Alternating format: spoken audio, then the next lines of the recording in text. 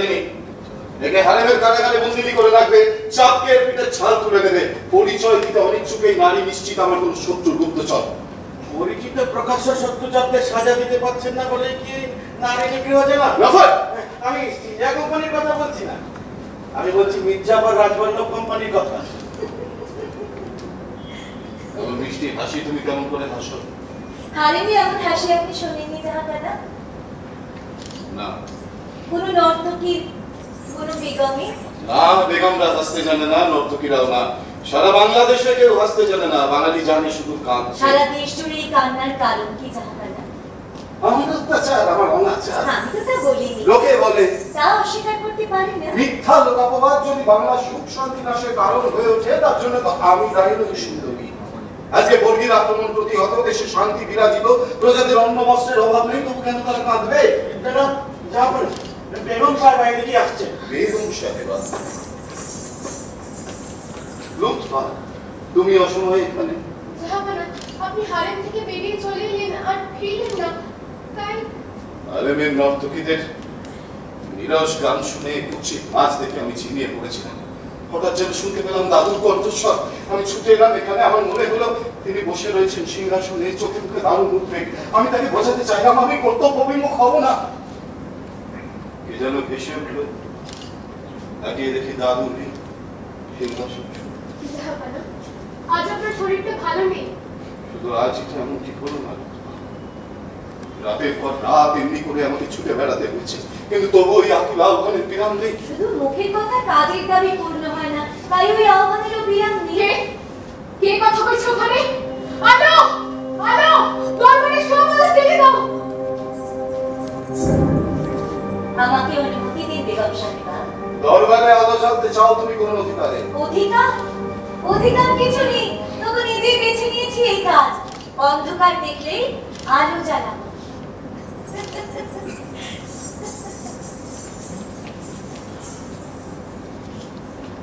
এটি কি নবাবের নতুন আমদানি? হ্যাঁ দয়া করে নিজেই এসেছেন আমন্ত্রণের অপেক্ষা রাখেন। শুনেছি দরবারে বীর মির্জাফর বিচক্ষণ রাজবল্লভ। ধনকুবের জগৎ শেঠের আসন টলে উঠেছে। নবাব কি এখন থেকেই নর্তকীদের মতো নারীদের নিয়েই দরবার বসাবেন? হ্যাঁ বেগম সাহেবা দেখছি রাজনীতির অনেক খবরই রাখেন। শুধু এই খবরটাই রাখেন না যে রাজ্যের বিচক্ষণ মন্ত্রীরা বীর সেনাপতিরা দিনরাত ষড়যন্ত্র করে চলেছে। সিরাজকে সিংহাসন থেকে টেনে নামিয়ে পদের বিক্রি করে ছেড়ে দিতে কিন্তু ওরা যে বলে পরে প্রত্যেকেই আমার বলেন হিতৈষী শুধু অত্যাচারী অনাচারী আমি সকলের সমস্ত উপদেশ উপেক্ষা করে যথেচ্ছাচারে প্রবৃত্ত হয়েছি। হ্যাঁ তাই তো বলে। ওরা যা বলে বেগম সাহেব তারই স্মরণ বলে বিশ্বাস করে আর এই ভাগ্য নিয়ে আমি বাংলা বিহার উড়িষ্যা ভাগ্য বিধাতা হয়েছি। ওর অপরাধ মার্জনা করুন। আমি কিছু না জেনে না বুঝে এসব কথা বলে নবাবকে ব্যথা দিয়েছি। চারিদিকে শত্রু লুৎফা। এমন সময় তুমি যদি আমার উপর থেকে ভরসা হারাও তাহলে সান্ত্বনার ঠাঁই আমি আর কোথায় পাই? আমি কারণ কোনো কথা শুনব না জাহাপনা শুধু আমার উপর বিশ্বাস রাখো কেমন আমাকে হারিয়ে যাওয়ার অনুমতি দিন। তুমি একটু কাল অপেক্ষা করো।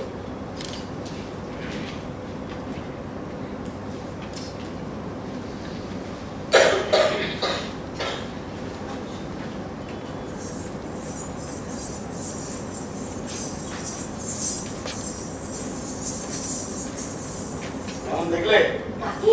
বেগমকে? বেগমরা যেমন হয় বমি করা পুতুল একটু তাপ পেলেই গলে যাবে। ঘসেটি বেগমকে দেখেছ? দেখো দেখলে বেগম সম্বন্ধে তোমার মত বদলে যাবে।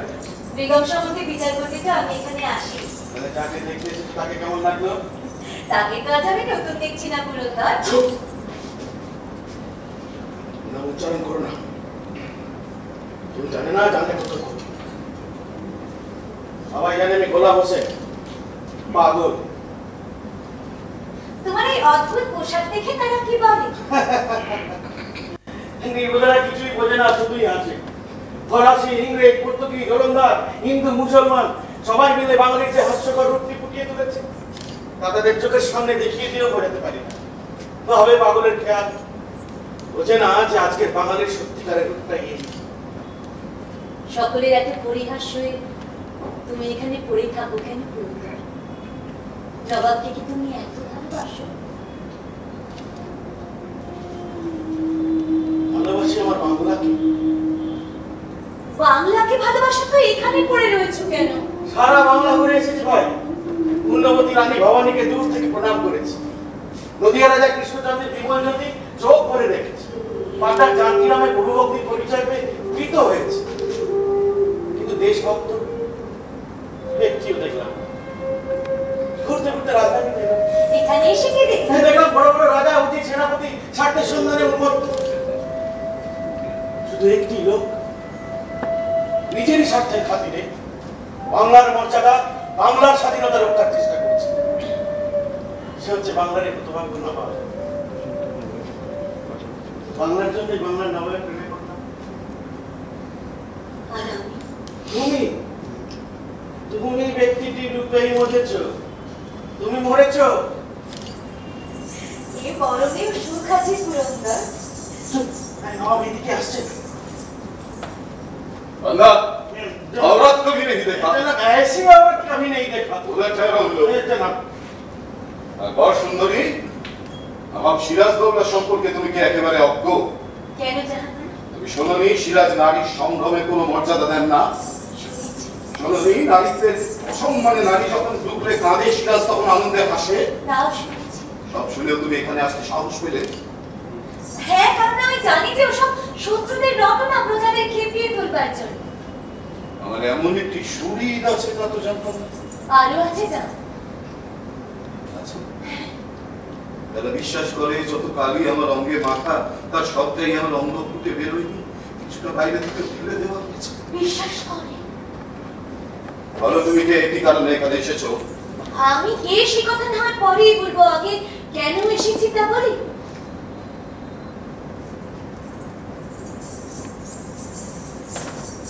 কাশিম বাজার কুঠির কোনো খবর রাখেন জাহাপানা কাশিম মজা কুঠি তুমি তার খবর পেলে কি করে? সেখানে জলসা আছে যে আমার আমন্ত্রণ হয়েছে। আমাকে গাইতে হবে নাচতে হবে।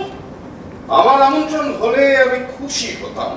মির্জাফরে রয়েছে শিবাসালার ভাগ্যবান রাজবল্লভ আমন্ত্রিত। তাকে সারা বাংলার কোনো জলসাই জমে না। জগৎ সিদ্ধ আসবে। ধন কুবেরের প্রীতি সকলেই কামনা করে সুন্দরী। কলকাতা থেকে আমির চাঁদ উপস্থিত থাকবেন সেই পাঞ্জাবিকে ইংরেজরা বড় মেঘের চোখে দেখে আদর করে উনি চাঁদ বলে ডাকে। মসিয়ে লাও উপস্থিত থাকতে পারে। ওয়াটস দেখছি বেশ বড় জাল ফেলেছে। আর এই জল যে একবার ঘুচিয়ে তুলতে পারবে সেই জয়ী হবে। এমন? নিমন্ত্রণ আমারও হয়েছে সুন্দরী। কাশিকাদের জলসা তোমার সাথে আমার দেখা হবে। আরও একটা কেন? আর অনেক খবরই তোমার মতো গুপ্তচরের কাছে থাকা অস্বাভাবিক অস্বীকার করতে পারো তুমি গুপ্তচর। যারা তোমাকে এখানে পাঠিয়েছে তারা ভেবেছে নারীর মুখ থেকে গলে গিয়ে আমি সমস্ত গোপন খবর বলে দেবো তাই না?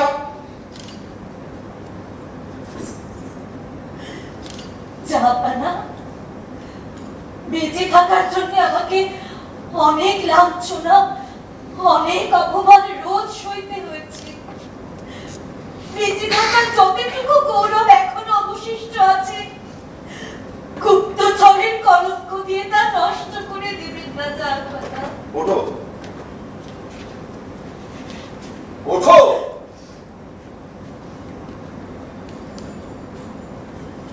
তোমাকে এখন বাইরে যেতে দিলে তুমি তাদেরকে গিয়ে বলে দেবে যে নবাবের অজানা কিছুই নেই।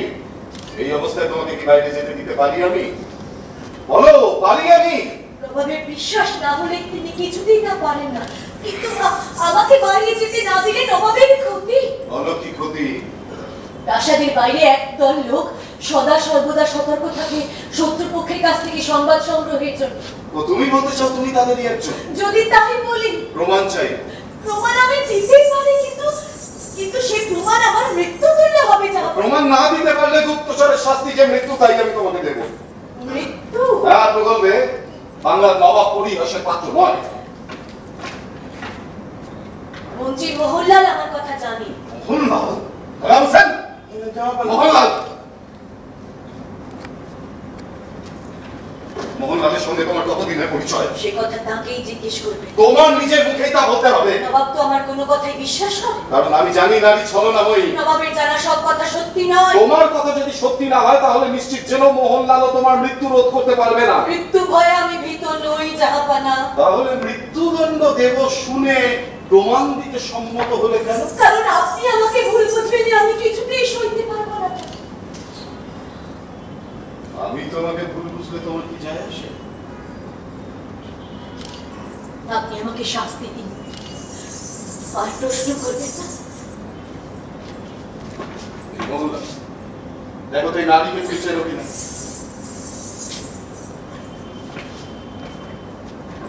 ভালো করে দেখো তোমার জবাবের ওপরে বাঁচা মরা নির্ভর করছে। জাহাপানা এই নারীকে আমি চিনি না। মোহনলালের কথা শুনে কেঁদে উঠলে যে মৃত্যু হয় তুমি নাকি পিতা নও? গোলাম হোসেন প্রতিহারী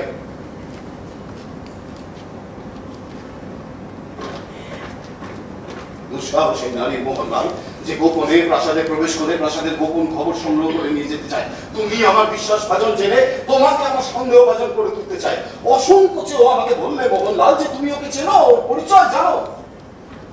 এটা নিয়ে যাও। আজকে রাত্রে হারবে কারাগারে বন্দিনী করে রাখবে। কাল রাতে প্রকাশ্য রাজপথে গুলি করে মারবে। ঘোষণা করে দেবে, নবাবের আদেশে গুপ্তচরের সাজা দেওয়া হয়েছে। যাও। নিয়ে যাও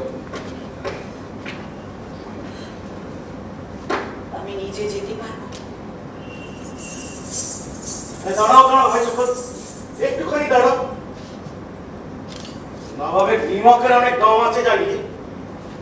কাজের এই উৎসাহ তো আমি তো কখনো দেখিনি।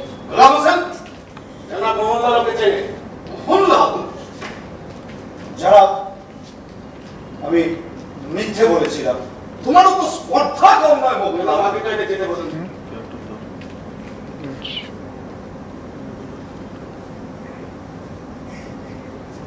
বলো মোহনলাল জানাব ওকে চিনি ও আমার ভগিনী। তোমার ভগিনী নর্তকী? পর্তুগিজার দস্যু ওকে অপহরণ করে। নিজের বুদ্ধি বলে পালিয়ে আসে, কিন্তু সমাজে ঠাঁই পায় না। তাই কি পেটের দায়ে গুপ্তচরের কাজ বেছে নিয়েছে? গুপ্তচর নয় যাব না গুপ্তচর নয়। এই প্রাসাদের বাইরে নবাবের হৃদয়সী যে কজন নরনারী আছে, ও তাদেরই একজন। শত্রুপক্ষের সংবাদ সংগ্রহ করে আমাদের জানায়। ওর সব গেছে যাওয়া না কিন্তু দেশক প্রেম এখনও যায়নি তবে পরিচয় দিতে কুণ্ঠিত হয়েছিল কেন? লজ্জায়। আচ্ছা। আশ্চর্য তোমাদের লজ্জাবোধ মোহনলাল। তোমার ভগিনী নিজের দোষে নয় দস্যুর হাতে পড়ে আছে গৃহহারা সর্বহারা। তুমি তাকে আশ্রয় তো দাওইনি, তার সাথে তোমার যে রক্তের সম্পর্ক, তাও তুমি অস্বীকার করতে চাও। নীতিবোধ দেখুন তো জানাব, আগুনের এই শিখা, কলঙ্কের পরশে কি কালো হতে পারে?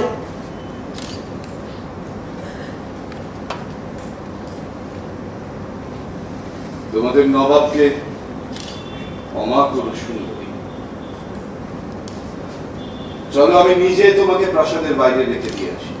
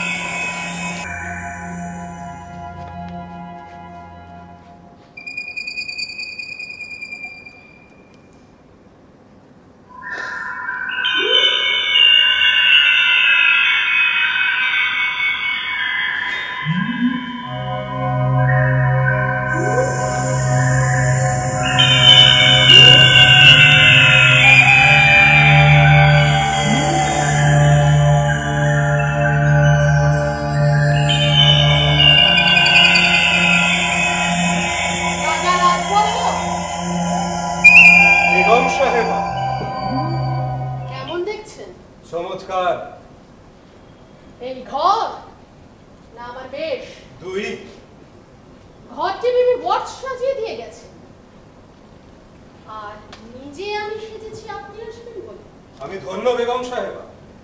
বসুন রাজা। আমি বিচার প্রার্থী। বসবার অধিকার তো আমার নেই। আপনার বিরুদ্ধে আমার প্রথম অভিযোগ। দীর্ঘকাল আপনি আমাদের বিচারালয়ে অনুপস্থিত নবাবের অনুচরেরা চারিদিকে সাজাক পাহারা দেয়। তাদের চোখে ধুলো দেবার কৌশল কি রাজা রাজবল্লভের জানা নেই? আছে কিন্তু তা বিপজ্জনক। ঘসেটি বেগমের অনুগ্রহ তাহলে আপনি বিনামূল্যে পেতে চান? ভিখারি হাত পেতেই বসে থাকে। দাতা নিজের খেয়ালে তার হাত অনুদানে ভরে দেন।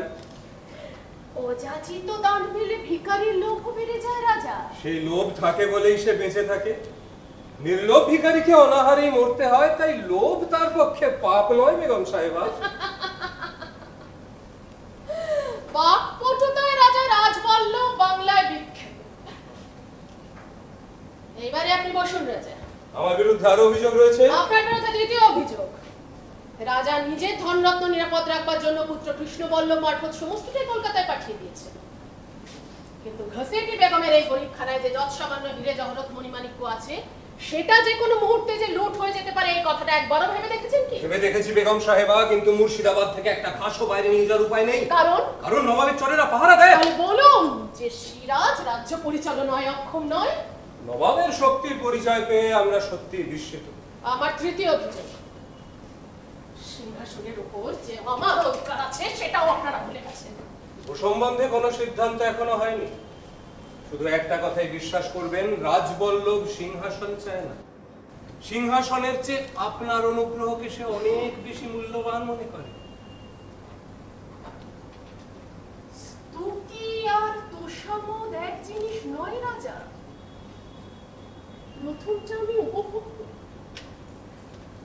শেষেরটা আমি ক্রীড়া করি রাজার কি রাগ হলো?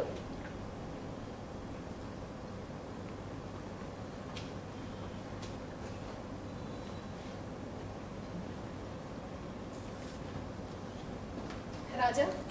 আদেশ করুন বেগম সাহেবা। আমার স্বামী যতদিন জীবিত ছিলেন ততদিন সকল ব্যাপারে আপনার উপরই নির্ভর করতেন। আর আমিও আপনাকেই একমাত্র ভরসার পাত্র বলে জেনেছি। আপনি তো জানেন যে সিরাজ আমার সর্বনাশে বদ্ধ পরিকর কিন্তু তা জেনেও তার প্রতিকারের কোনো ব্যবস্থাই আমি করতে পারছি আপনি আমাকে কথা দিন রাজা। বিপদে আপনি আমাকে রক্ষা করবেন। প্রতিশ্রুতি দেওয়ার দায়িত্ব যে কতখানি তা কি বেগম সাহেবা অনুমান করেছেন। ছি। ছি সে দায়িত্ব নিতেও আপনি অনিচ্ছুক। দায়িত্ব নিতে আমি অনিচ্ছুক নই শুধু পরিণাম ভেবে শিউরে উঠি। রাজা রাজবল্লভ কি এতটাই দুর্বল। একা রাজবল্লভ হোসেন কুলির চেয়ে বলবান নয়। রাজা! যে কোনো অসতর্ক মুহূর্তে রাজবল্লভের ওই একই দশা হতে পারে। আপনাদের কথায় বিশ্বাস করে কি নির্বোধের মতো কাজ আমি করেছি? সিংহাসনে সিরাজ প্রতিষ্ঠিত হবে জানলে আমি আপনাদের দলে যোগ দিতাম না। সিরাজের প্রতি স্নেহ দেখিয়ে আমি সহজেই সিরাজের বিশ্বাসের পাত্রী হতে পারতাম। শুধু আপনাদের ভরসায় প্ররোচনায় আমি আমি সে পথেও কাটা রেখে দিয়েছি। আপনি অকারণে বিচলিত হচ্ছেন বেগম সাহেবা। আমরা শুধু ইংরেজদের শক্তি বৃদ্ধির অপেক্ষায় আছি। ইংরেজদের শক্তি বৃদ্ধি ইংরেজ শক্তি লাভ করলে তো সিংহাসন তারাই অধিকার করবে সিংহাসন তারা চায় না। কাকে দেবে? যাকেই দিক সিরাজের তো পতন হবে। আপনি শুধু আমাকে বলুন আপনার হয়ে কোনো প্রতিশ্রুতি আমি ইংরেজদের দিতে পারি কিনা?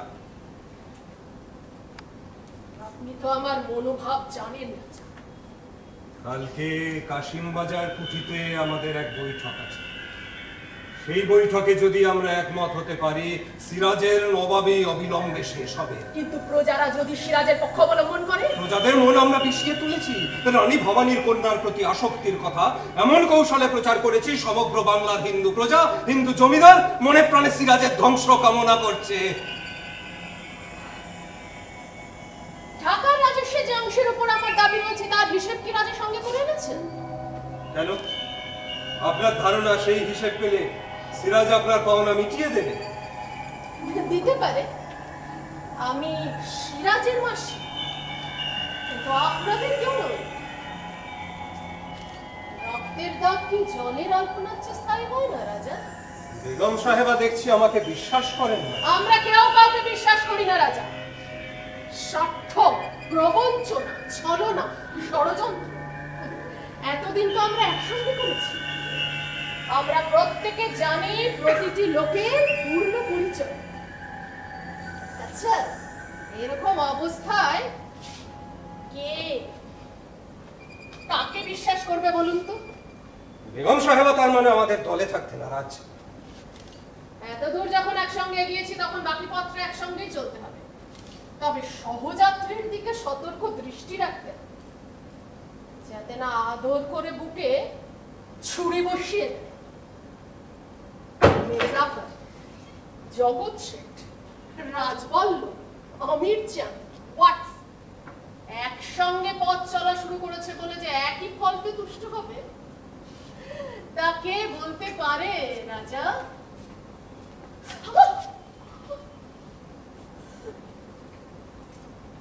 নবাব আলীবর্দীর তিন কন্যা কিন্তু শুধু আমি না আছে নবাব জমিনি আমি না পুত্র হুকুম করে আর আমাদের সেই হুকুম পালন করতে হয়। আমি না নিশ্চিন্তে আর আমি আমার পিতার প্রাসাদে সকল সুখ স্বাচ্ছন্দ্য উপভোগ করে। কিন্তু জানেন তো আমরা তিন বোন কিন্তু জীবনের যাত্রা একসঙ্গে শুরু করেছিলাম। বেগম সাহেবা বান্দা! অবশ্যই নবাব সৈন্য কোথায়? প্রাসাদের বাইরে করন্দাজ কেউ যেন খুলে না দেয়। কিছু অনুমান করতে পারছেন রাজা? এই সৈন্য আপনার জন্য না আমার জন্য। আমাকে এই অবস্থায় পেলে প্রাণে মারবে। না আপনি আপনি এখানে অপেক্ষা করুন এখানে অপেক্ষা করুন আপনি। যে করেই হোক যে করেই হোক আপনাকে আমি রক্ষা করব। এ সৈন্য সমাবেশ আমার জন্য নয়। আরে চুপ করে থাকবেন না রাজা কিছু বলুন। আমাকে নিজের দিকটা ভাবার সুযোগ তো দেবেন। বেগম সাহেবা নবাবের বেগম নিজে এসেছে। সে কি? তরণকে খুলে দিলে। বাইরে থেকে ওরা বললেন নবাবের বেগম বাইরে অপেক্ষা করছে। এরা আমাকে রক্ষা করবে অপদার্থের দল। বেগম সাহেবা এই প্রাসাদের বেগম একটি! আর তিনি তো সামনে দাঁড়িয়ে ও বেগম জানেই না যে এসেছে সে মহামান্য ঘসেটি বেগমের পুত্রবধূ তুমি মায়ের কাছে কি আসতে নেই মা? আমার খোঁজা দেহরক্ষী কালা আর বোবা। ও রক্ষী কালা আর বোবা হয় ভালো। ঘরের কথা বাইরে প্রকাশ করতে পারে না। সিরাজকে বলো রক্ষীদের কানে শীষে গলিয়ে ঢেলে দেবে। আর জিভগুলো কেটে দেবে। দেখবে নিজে হাতেই সেটা করছে। হ্যাঁ সেই একটা মশা পর্যন্ত মারতে পারে না, কিন্তু ইংরেজ মারতে কামান রাখতে চান ইংরেজদের দেওয়া জিনিসগুলি বেশ। নবাবকে তো ওরা কত কিছু দিতে চায়, কিন্তু নবাব তা নেন না। বলেন, ওদের থেকে কিছু নেওয়া পাপ। সিরাজের তাহলে অনেক পরিবর্তন হয়েছে ওরে বাবা, একেবারে নতুন মানুষ, গেলেই দেখতে পাবে। যাব একদিন সময় করে। একদিন কি বলছেন? আজই যেতে হবে। এক্ষুনি তিনি আমায় পাঠালেন যে। তোমার সঙ্গে যদি না যাই, আমি ছাড়বো কি না? শুধু সিরাজের নয়, তোমারও অনেক পরিবর্তন হয়েছে দেখছি। মা, আপনার মুখ অমন গম্ভীর হয়ে গেল কেন? আলমগীর বাদশাহ হবার আগে তার বাপকে বন্দি করেছিলেন। নিজে বেগমদের কাউকে দিয়ে তা করেন। সিরাজ তার বেগমকে পাঠিয়েছে, মাসিকে বন্দিনী করে নিয়েছে।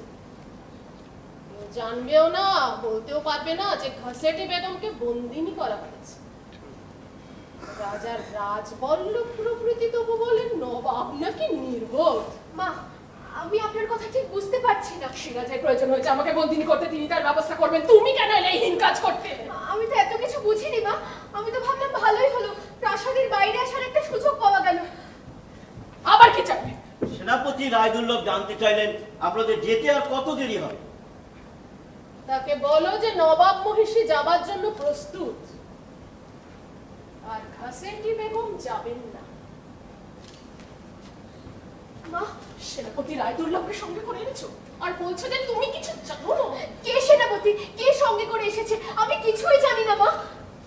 আচ্ছা বেশ আমি নবাবকে গিয়ে বুঝিয়ে বলছি আপনার পক্ষে এখন যাওয়া সম্ভব নয়। আ- আচ্ছা তাহলে আসি মা।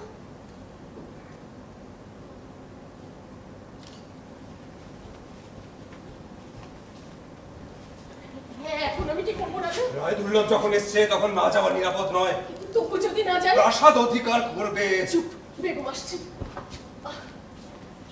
কি হলো? আবার ফিরে এলেছেন সেনাপতি মহাশয় বলে আপনি না গেলে উনি আমাকে যেতে দেবেন না আর নিজেও যেতে পারবেন না। এটা নবাবের আদেশ।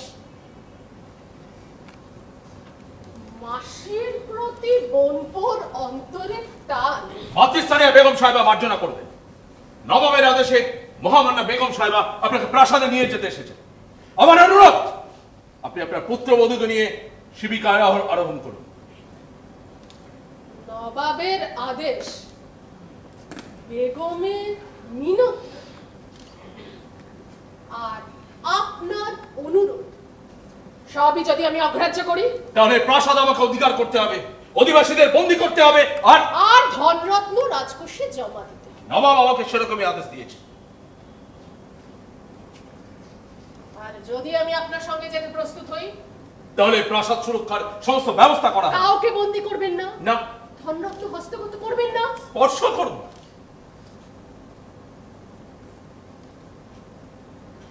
বেশ আমি যেতে প্রস্তুত।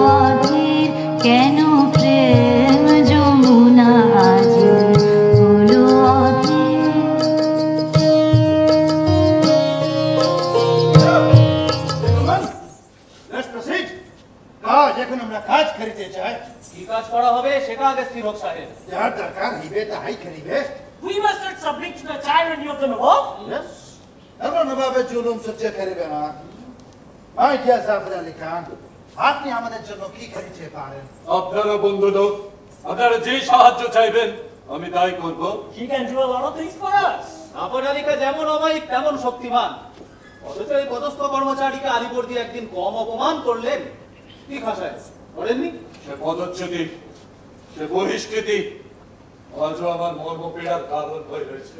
মানে না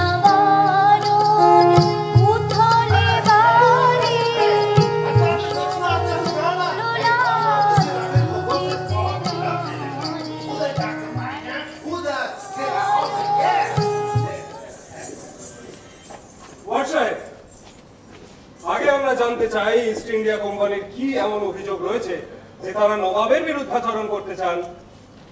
আপনি ভুল বুঝে আছেন We want peace. আমরা শান্তি চাই We have come to trade in this land and not to rule over it.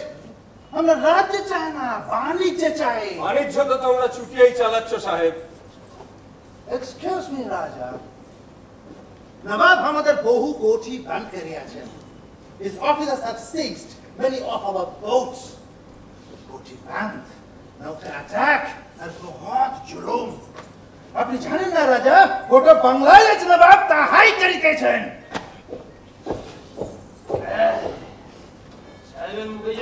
ফুটছে হ্যাঁ, নবাবদের আবেদন শোনেননি বলে ভারী চটে আছে হ্যাঁ? আরও চটিয়ে দিন রাজা আরও চটিয়ে দিন। হ্যাঁ ওয়ার্ড সাহেব? If, if we are not allowed to carry on our trade peacefully, then what is the good for us to stay over here? বাণিজ্য না হইলে এদেশে থাকি আমরা কি করিবে? নবাবের ঘোড়ার ঘাস কাটিবে। নবাবের কোনো কোনো ইতিহার নাই আমাদের বাণিজ্য বন্ধ করিতে We have received the ferment of free trade from the hands of the emperor himself. বাচ্চা নিজে হুকুম দিলেন, নবাব তা খারিজ করিবে। ডাক শুনেছে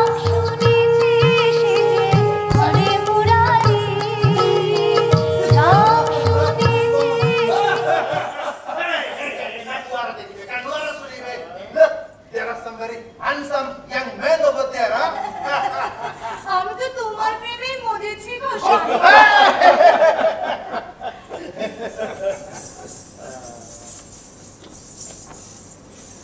বয়সে নবীন তাই বুঝতেই পারছেন না যে এই কোম্পানি বাণিজ্য করছে বলেই দেশের ধনবৃদ্ধি হচ্ছে।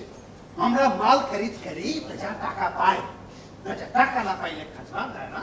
আর নবাবিও চলে না? সব বুঝি সাহেব নবাব বুঝেন না। বুঝবে না তো কি করিবে জমিদারের কান ধরে আদায় করে নেবে। জামিনদার জামিনদার টাকা কোথায় পাইবে? টাকা না পেলে শেঠজির বৈকুণ্ঠে বাস করবে I don't. Is that a very comfortable place to stay? খুব মজা সে থাকা যাইবে to business gentleman to business সাহেব তাহলে বলছেন যে ইস্ট ইন্ডিয়া কোম্পানি আমাদের মঙ্গলের জন্যই এদেশে বাণিজ্য করছে আর আমাদের উচিত সব রকম ভাবে কোম্পানিকে সাহায্য করা. কিন্তু ধরুন এই খাঁ সাহেব যদি বলেন যে ব্যক্তিগত লাভের কোনো সম্ভাবনা না থাকলে উনি নবাবের বিরুদ্ধে অস্ত্র ধারণ করার বিপদ বরণ করবেন না। তার মানে উনি বলেননি কিন্তু যদি বলেন I have referred this case to the committee of Calcutta. আমি ক্যালকাটা কমিটিতে ওর দাবি পেশ করিয়াছে কিন্তু আমার দাবি সম্বন্ধে কোনো বিবেচনাই তো করেননি আপনার কাম্য কি থাকতে পারে শেঠজি? আপনার তো অতুল ঐশ্বর্য অর্থের অভাব তোমারও নেই আমি চাঁদ তবু তুমি হ্যাংলা কুকুরের মতো ল্যাং ল্যাং করে ইংরেজদের পিছু পিছু ফেটছো শেঠজি, আচ্ছা, আচ্ছা, শেঠজি। শেঠজির যদি কোনো দাবি থাকে তা অবশ্যই পূর্ণ করা হবে and to his entire এ আমার দাবির কথাও আপনাদের বিবেচনা করতে হবে Haven't we already done so, Raja? Huh? তাহলে কিষেন বল্লভর কি হয়তো এবার ভাগিয়ে দেখেন Gentlemen, gentlemen, I am a medical practitioner. I say you are all suffering from the malady of biscuit. You are diseased in your mind and soul. And I tell you, gentlemen, you won't get peace and happiness unless get yourself cured by us, the Britishers. Gentlemen, Dr. Ford খুব ভালো কথা বলিয়াছেন তিনি বলিয়াছেন কি যে আপনাদের জগৎ বিমারি হইয়াছে আপনাদের মন পীড়িত আপনাদের সোল আই মিন আত্মা পীড়িত হইয়াছে নতুন কথা কি সাহেব অন্তরাত্মা আমাদের খাঁচা ছাড়া হতে চলেছে। আপনারা সকলে নবাব হইতে চাহেন? আগে দেখেন না that there is only one throne in Bengal সিংহাসন আছে এক তাতে রাজপাল্লা বসিবে তো জাফর আলী ওর গলা কাটিবে জাফর আলী নবাব হইলে শেখ রাজার গোসা হইবে।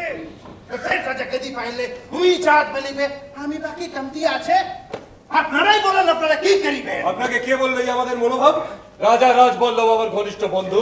তার বিরুদ্ধে আমি কোনোদিনই অস্ত্র ধারণ করব না। আর সিংহাসনের প্রতি আমার কোনো লোভই নেই। আমির চাঁদ গোলাম হয়ে থাকতে চায় নবাব হতে চায় না।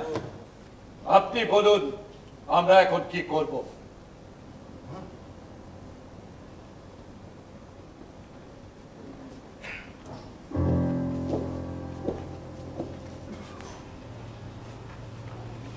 শয়তানকে বাধা দিন। সে পলাইয়া যাইবে শয়তান কে যে পাপ করে জুলুম করে তাকে আপনারা বাধা দেবেন? আলবাত দিব। কালকাটা কে হইতেছে? নবাব বলিল ফোর্ট তোরো আমরা কইল সেটি হইবে না। নবাব ডর দেখাইলেন যে তিনি কালকাটা অ্যাটাক করিবেন। আমরা কামান বসাইলাম। না ওয়ার ইজ এমিনেন্ট নবাব যখন কালকাটা যাইবেন তখন ভারী ভারী যুদ্ধ হইবে। And, Murshidabad will be left at year's mercy. আপনারা মুর্শিদাবাদে থাকিয়া যাহা খুশি তাহাই করিবেন বলুন কি করতে হবে আমি প্রস্তুত I knew you were the bravest of the lot. I wish you all the success, Mr. Jafar Ali Khan. Rajballabh কি করিবেন আপনারা কলকাতায় কি করেন সেই দেখে আমরা ঠিক করব সেটি কি করিবেন জগৎ শেঠ বিপদকালে বান্ধবদের ত্যাগ করে না নবাব যাতে ক্যালকাটা হইতে ফিরিয়া না আসেন আমরা তাহাই করিবে যদি ফিরিয়া আসেন তো দেখিবে মুর্শিদাবাদের গাদিতে দোসরা নবাব বসিয়া আছে বিচার করিয়া দেখেন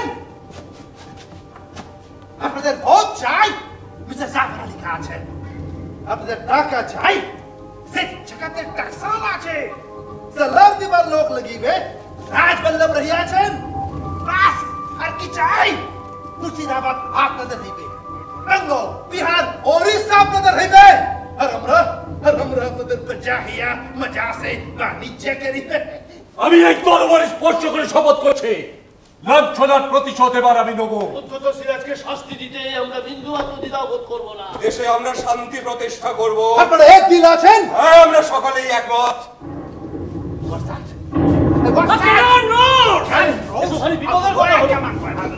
চৌকা থেকে মুর্শিদাবাদ আক্রমণ করল নাকি? সাহেব সাহেব! সাহেব সর্বনাশ হয়ে গেছে নবাব সেনারা এদিকে আসছে সঙ্গে নবাব নিচে The Nawab himself to arms to arms British brave lads to arms to arms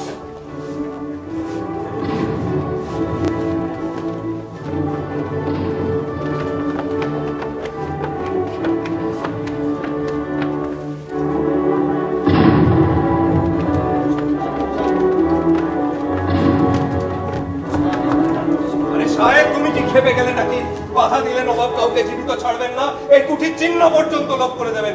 এখনই তোমার লোক পাঠিয়ে দাও তার নবাবকে গিয়ে বোঝাও। তোমাদের যুদ্ধের কোনো আয়োজনই নেই তাও কেন নবাবের এই ক্রোধ? You are you are right রাজা সকলে দেখুক নবাব কিরূপ অত্যাচারী বুঝুক তাহার রাজ্যে কিরূপ জুলুম হয়। এ তোমার লোকেদের শান্ত করো সাহেব। নবাবকে বুঝতে দাও আজ তোমাদের উৎসব। আমরা তোমার আমন্ত্রিত অতিথি। আরে নাচো গানো।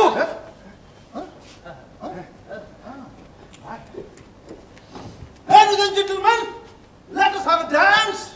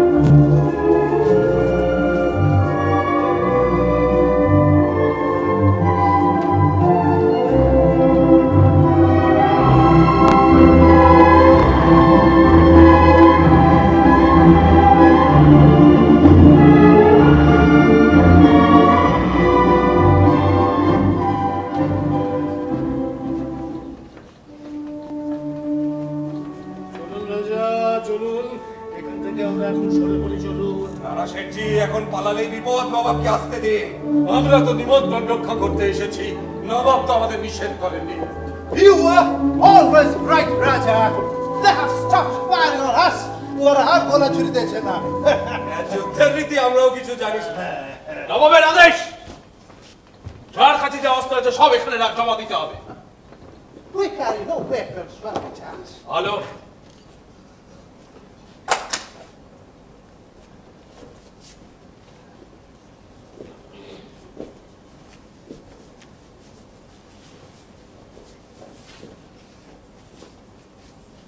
নবাব এখনই আপনাদের দেখা দেবে। সেনাপতি রায় দুর্লভ আদেশ করুন সিবাসালা নিশীথে নিরস্ত্র নরনারীকে আক্রমণ করে কি আপনি দিনের খ্যাতি অর্জন করতে চান? আমি নবাবের ভিত্ত তার আদেশ পালন করাই আমার কর্তব্য। মনসুরুল মলক সিরাজউল্লাহ আমেরিকা মিরাজ মোহাম্মদ আইবাজ জঙ্গাদু নবাব মনসুরুল মলক সিরাজউল্লাহ শাহ কলিফা মিরাজ মোহাম্মদ আইবাজ জঙ্গাদু হোয়াটস Excellency, শেখ সাহেবকে তুমি কি খবর পাঠিয়েছো? স্মরণ হইতেছে না। এত বড় স্পর্ধা তোমার যে আমার রাজ্যে আমারই আশ্রয় বাস করে আমারই রাজ্যে ব্যবসায় লিপ্ত থেকে আমার আদেশ তোমরা লঙ্ঘন করো। কাশিম বাজার কুটিতে আমার অনুমতি ছাড়া তুমি বহু অস্ত্র আমদানি করেছ। ড্রেক জানিয়েছে কলকাতা দুর্গ সংস্কার তারা কিছুতেই স্থগিত রাখবে না। তোমরা কি মনে করেছ তোমাদের এই উদ্ধত্ত আমি নীরবে সহ্য করব? মিস্টার ড্রেক কি করে আছেন? আমি জানি না ইওর এক্সেলেন্সি না জানলেও কৈফিয়ত তোমাকেই দিতে হবে। তার কারণ তোমাদের কোম্পানির প্রতিনিধি হিসেবেই আমার দরবারে তোমাকে স্থান দেওয়া হয়েছে। না হলে তোমার ব্যক্তিগত চরিত্রের যে পরিচয় আমি পেয়েছি তাতে তোমার মাথা মুড়িয়ে গোল ঢেলে গাদার পিঠে চাপিয়ে দেশ থেকে বার করে দিতাম। আমির চাঁদ জাহাপানা। পাঞ্জাব থেকে বাংলায় এসে স্বার্থ আর ষড়যন্ত্রে লিপ্ত থেকে তুমি যেমন নিজের তেমনি আমাদের সকলের সর্বনাশের সূচনা করছ তুমি কিন্তু সাবধান। আমি নবাবেরই গোলাম জাহাপানা। সিপাহ সালার জাফর আলী খান নবাবের সিপাহ সালারা অথচ রাজধানী ত্যাগ করবার পূর্বে নবাবের অনুমতি নেবার প্রয়োজন মনে করেন না। কাশিম বাজারকে আমরা রাজধানীর অন্তর্ভুক্ত বলেই মনে করি যা আপনি আমার আত্মীয়। আমি আশা করি যে আমার বিপদকে আপনি নিজের বিপদ বলে মনে করবেন। অথচ আশ্চর্যের ব্যাপার এই যে যখনই আমার আপনার সাহায্যের প্রয়োজন হয় তখনই আমি আপনাকে কাছে পাই না। অনুমানে নিশ্চয়ই আপনি বুঝেছেন যে কলকাতার কুঠিয়ালদের শাস্তি দেওয়ার উদ্দেশ্যেই আমি রাজধানী মুর্শিদাবাদ ছেড়ে যাত্রা করেছি। আমার অনুরোধ এই অভিযানে আমার সঙ্গ দিয়ে আপনি আমার শক্তি বৃদ্ধি করবেন। রাজা রাজবল্লভকেও আমাদের সাথে কলকাতায় যেতে হবে। পুত্র কৃষ্ণ বল্লভকে অনেকদিন হলো দেখেননি তো, একবার দেখে আসবেন, চলুন। শেঠজি অবশ্য সুদের টাকার তারিখ দিতেই এখানে এসেছিলেন। শেঠজির বিরুদ্ধে আমার বলার কিছু নেই, আর থাকলেও বলব না, কারণ টাকার আমারও প্রয়োজন। শেঠজি মুর্শিদাবাদেই থাকবেন। নবাবের সব প্রয়োজন আমি নিশ্চিতভাবে পূর্ণ করব। তবে আমার একটু নিবেদন ছিল জাহাপানা। সিপাহাসালার জাফর আলী খান আর রাজা রাজবল্লভকে নিয়ে আপনি যদি কলকাতায় যান, তাহলে রাজধানী মুর্শিদাবাদ কি একেবারেই অরক্ষিত থাকবে না।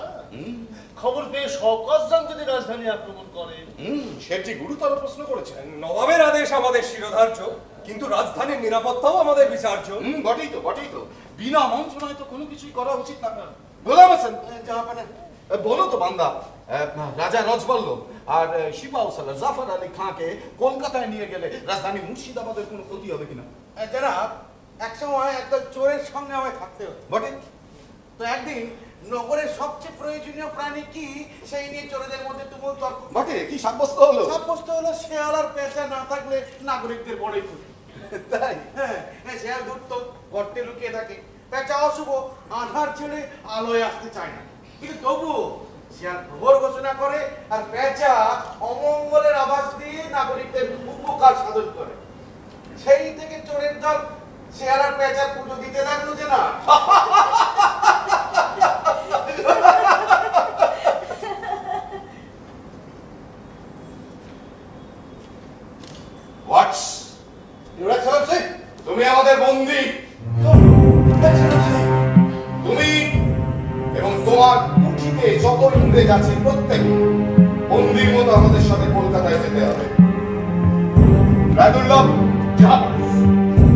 এদেরকে কলকাতা নিয়ে যাওয়ার ব্যবস্থা করুন। পিছনে শত্রু রেখে যুদ্ধ যাত্রা কোনো কাজের কথা নয়।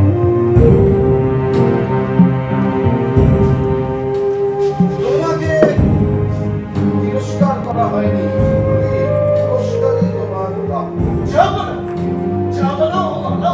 ধন্যবাদ শেষই যাচাই করেন আমি যাচাই করি, নারী রত্ন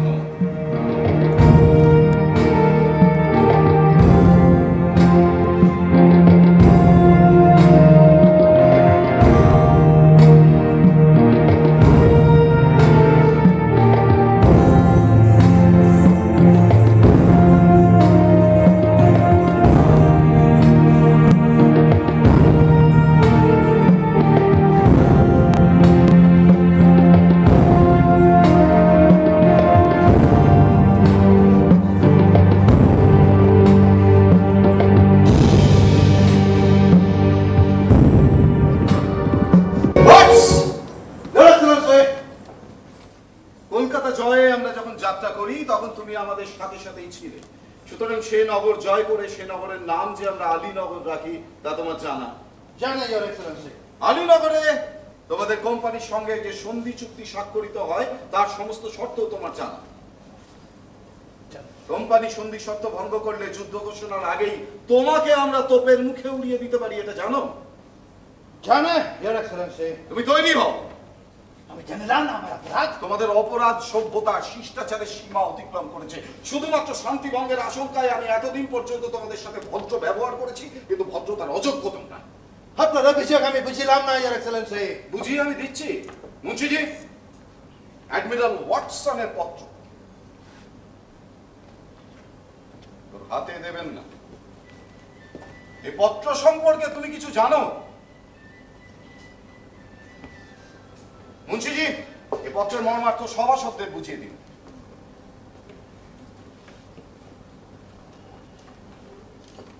কর্নেল ক্লাইভ যে সৈন্যের কথা উল্লেখ করিয়াছিলেন তাহা শীঘ্রই কলিকাতায় পৌঁছিবে।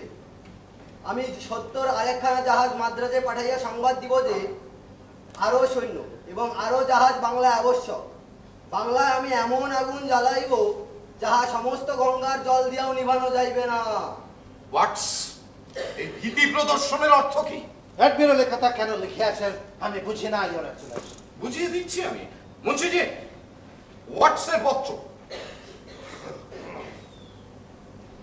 একবার দেখিয়ে নিন। অস্বীকার করতে পারো তোমার হাতের লেখা। হ্যাঁ আমি লিখিয়াছে। পড়ুন মুন্সিজি পড়ুন।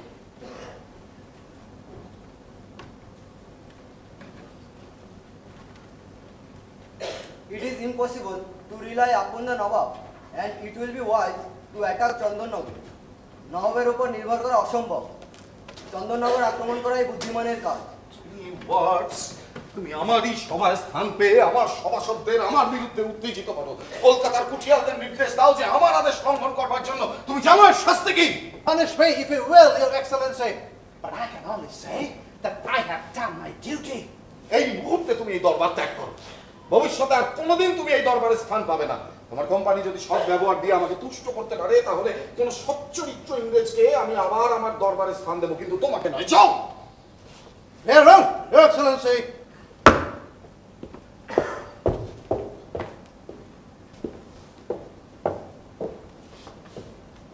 ওয়াট সাহেবকে এইভাবে বিদায় না করে দিলেও চলতো। নিজেদের কথা ভাবুন রাজা নিজেদের কথা বলুন। ভাবা যখন উচিত ছিল তখন যে কিছুই ভাবেনি নবাব। সে অপরাধকে আমি বারবার স্বীকার করে নিইনি। আপনাদের সমস্ত অভিযোগ আমি মাথা পেতে নিয়েছি। আপনারা সারা দেশে আমার দুর্নাম রটিয়েছেন কর্মচারীদের মনে অশ্রদ্ধা এনে দিয়েছেন আত্মীয় স্বজনদের মন দিয়েছেন মিশিয়ে আর কত হেয় করতে চান আপনারা আমাকে? আপনাকে হেয় প্রতিপন্ন করে আমাদের লাভ? স্বার্থ সিদ্ধি! স্বার্থের সন্ধানে আমরা যদি নিযুক্ত থাকতাম তাহলে তাহলে? বলুন তাহলে? তাহলে বাংলার সিংহাসনে এতদিন অন্য নবাব বসছে। এত বড় কথা আমার মুখের সামনে বলতে আপনাদের সাহস হয়? আপনার উপদ্রবী আমাদের সে সাহস এনে দিয়েছে নবাব। আমার উপদ্রব নয় শেঠজি আমার সহিষ্ণুতা আপনাদের স্পর্ধা বাড়িয়ে দিয়েছে। জাহাপানা মানি লোকেদের মানহানি করে আপনি আমাদের সকলেরই অপমান করছেন। সকলে মিলে আপনারা কি আমার কম অসম্মান করেছেন? আমরা কেউ মিথ্যে কলম করাটাই নেই। সত্যাশ্রয়ী রাজা। বলুন বলুন সিংহাসনে আরোহণ করবার পর থেকে এই এক বছরে কি অনাচার আমি করেছি বলুন? বলুন কটা রাত আপনারা আমাকে নিশ্চিন্তে ঘুমোতে দিয়েছেন কটা দিন আমি শান্তিতে কাটিয়েছি বলুন। আপনার দৈনন্দিন জীবনযাপন প্রণালী আমাদের কণ্ঠস্থ থাকার কথা নয়। অথচ কোথায় কবে কখন কোন অনাচার আমি করেছি তা আপনারা নির্ভুল বলে দিতে পারেন। পারি কারণ পাপ কখনো চাপা থাকে না। পাপ যে কখনো চাপা থাকে না হোসেন কুলি খাঁ প্রাণ দিয়ে তা বুঝিয়ে দিয়ে গেছে নিজের জীবন দিয়ে আবারও কি তা বুঝতে চান না চান? শেঠজি জাফর আলী খান আপনাদের বন্ধুর মুখখানা একবার দেখুন। আমি এই তরবারি স্পর্শ করে শপথ করছি জাহাপনা আপনি যদি বাড়ি লোকেদের এই রোগ অপমান করতে থাকেন তাহলে আপনার সপক্ষে আর কোনোদিন অস্ত্র ধারণ করব না। আজ পর্যন্ত কদিন তা ধারণ করেছেন মাননীয় সিপাহ সালার? অপদার্থ শওকতকে হত্যা করে বুঝি তোমার এই স্পর্ধা হয়েছে বহলান কোন যুদ্ধে কৃতিত্ব না দেখে আমি জিজ্ঞাসা করছি। কলকাতা জয় থেকে শুরু করে পূর্ণিয়া জয় পর্যন্ত। কবে সিপাহ সালার নবাবকে সাহায্য করেছেন? জাহাপনা এরা যে সকল প্রধান সেনাপতি আমি নবুর রহ রইস রাজা মনে করেছেন নবাব একেবারে অসহায়। নিজের সিংহাসন রক্ষা তো নয় নিজের ধরে পাকার ক্ষমতাও তার নেই। আমরা নবাবের নিমক বিধাই খাই না এই কথা তাদের মনে রাখা উচিত। এই সব অর্বাচিতকে দিয়েই যখন নবাবের কাজ চলবে তখন চলুন রাজা রাজ বলল চলুন জগৎ ছেন আমরা দরবার ত্যাগ করি। নবাব থাকুন তার কর্মক্ষম পরম বিচক্ষণ শক্তিমান সেনাপতি আর মন্ত্রীদের নিয়ে। গোলাম হোসেন মোহনলাল আর বীর মদন যখন রয়েছেন তখন আর ভাবনা কি? চলুন দাঁড়ান! দরবার ত্যাগ করবার পূর্বে নবাবের অনুমতি নেওয়া প্রয়োজন এ কথাটাও কি আপনাদের মনে করিয়ে দিতে হবে? দরবার ত্যাগ করতে আমরা বাধ্য হচ্ছি জাহাপনা বাধ্য হয়ে দরবার ত্যাগ করবেন আপনারা তখন যখন আপনাদের বন্দি করা হবে। মুন্সি সিপাহ সালারকে লেখা ওয়াটসের পত্র হ্যাঁ নবাবের সিপাহ খোঁজা পিচ্চুর মারফত ওয়াটস এই পত্রখানি আপনার নিকট পাঠাচ্ছে। আপনার দুর্ভাগ্যবশত আমাদের হস্তগত হয়েছে দেখতে চান। নবাবের অনুগ্রহ সকলের সামনে শুনিয়ে আপনাকে লজ্জা দেব না। পত্রখানা আপনাকে দেখতেও দেবো না। তার কারণ তাহলে যে উদ্দেশ্যে এই পত্র প্রেরিত হয়েছিল তাই সাধিত হবে। তাহলে এখন কি করবেন বলে স্থির করেছেন? রাজদ্রোহে লিপ্ত প্রজা সম্বন্ধে কি ব্যবস্থা নেওয়া উচিত?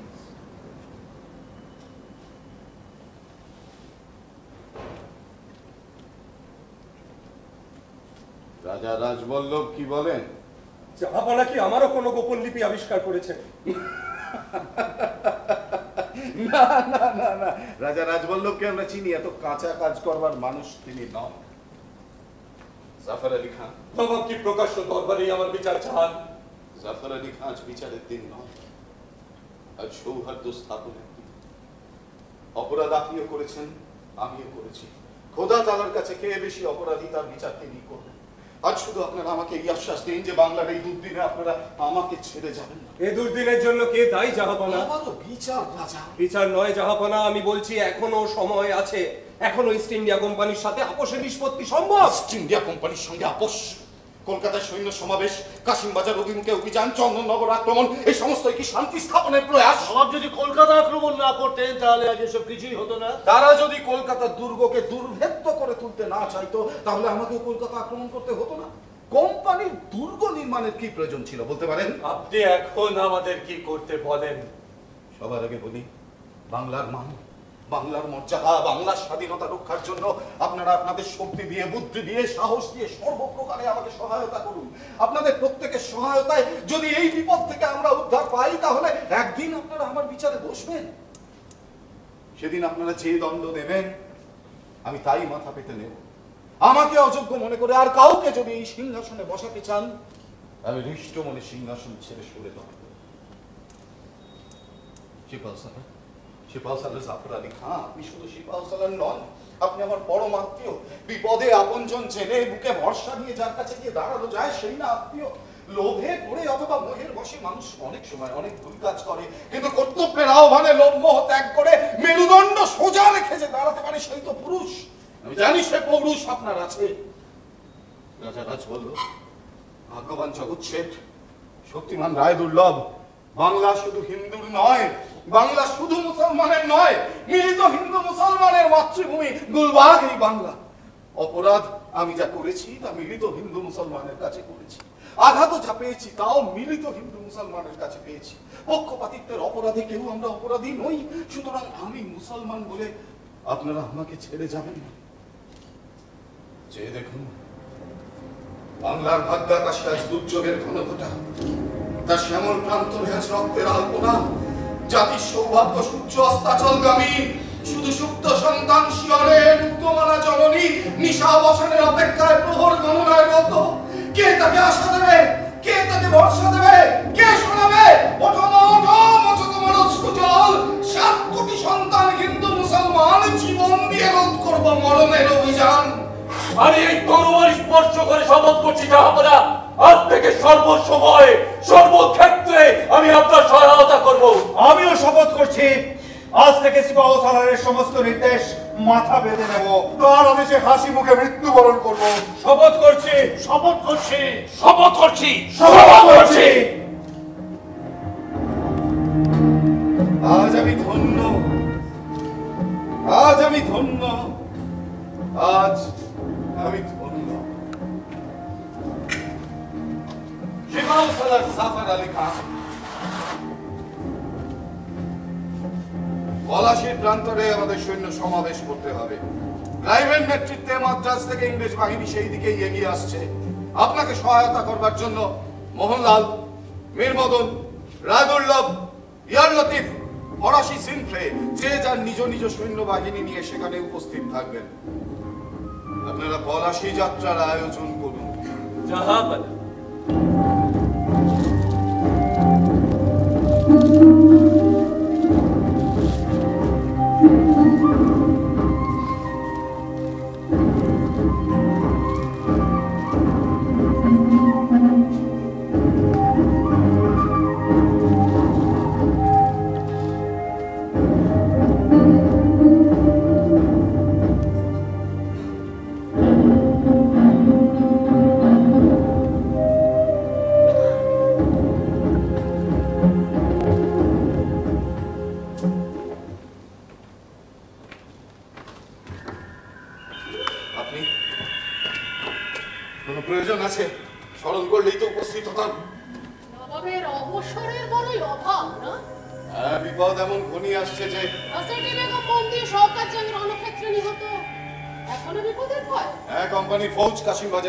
বাজারের আগমন করেছে। করেছি?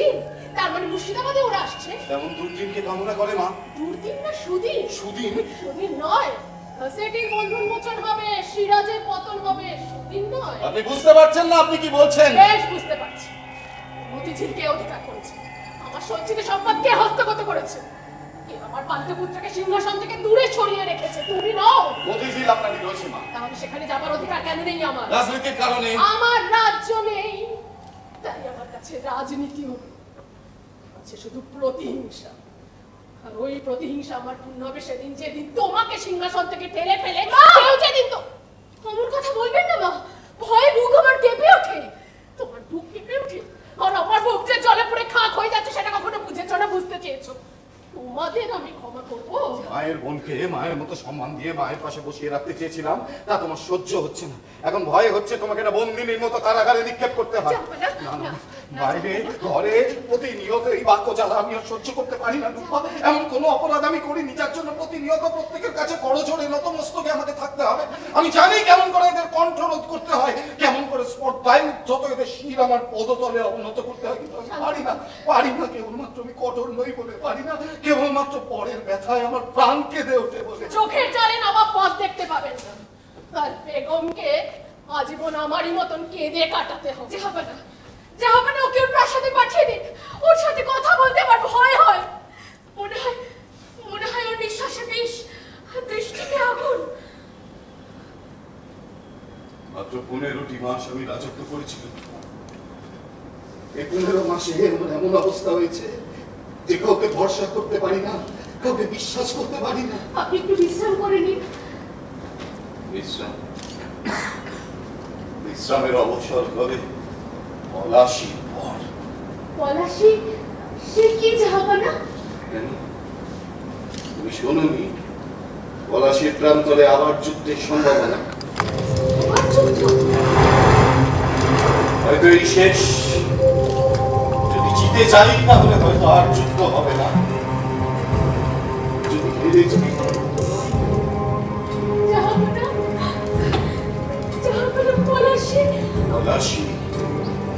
একদিন লাখো লাখো পলাশ ফুলের অগ্নি তার প্রান্তর রাঙা হয়ে থাকতো। তাই আজও তার বুকে রক্তের তৃষা। জানি না আজ কার রক্ত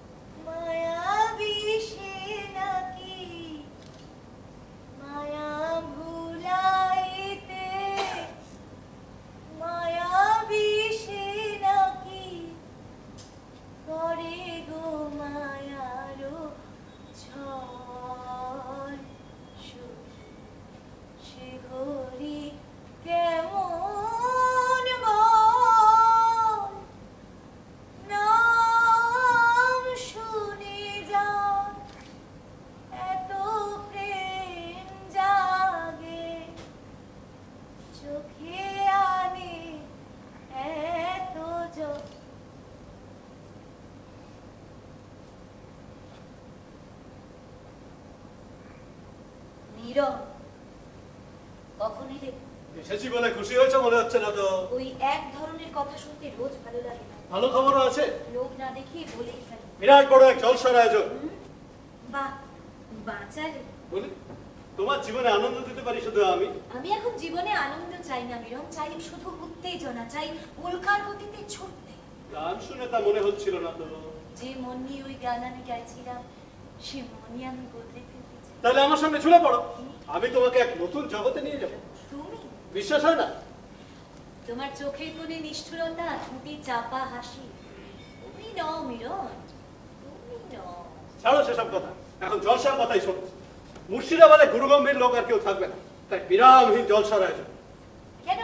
নবাব কি তার আমির ওমরাহদের নিয়ে মক্কায় চলেছেন নাকি? যুদ্ধে চলেছেন সবাই।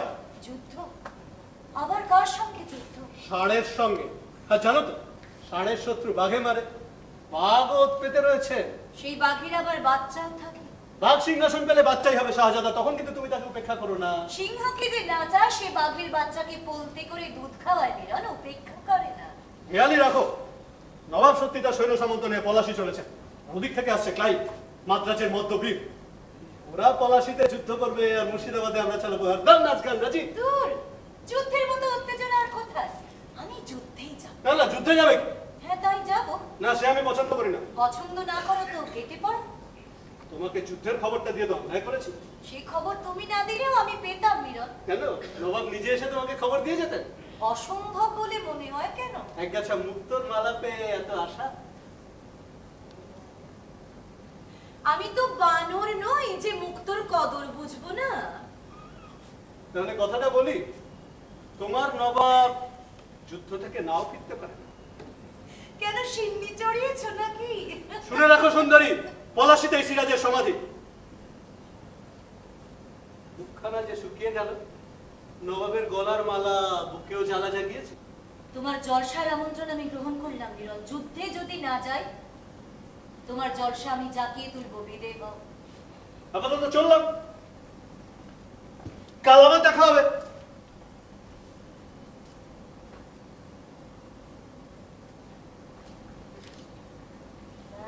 কি নামে ডাকিলে আসে কোন রূপ, কোন গুণ পাইলে সে? রাধা সম ভালোবাসে, তারে নামে ডাকিলে আসে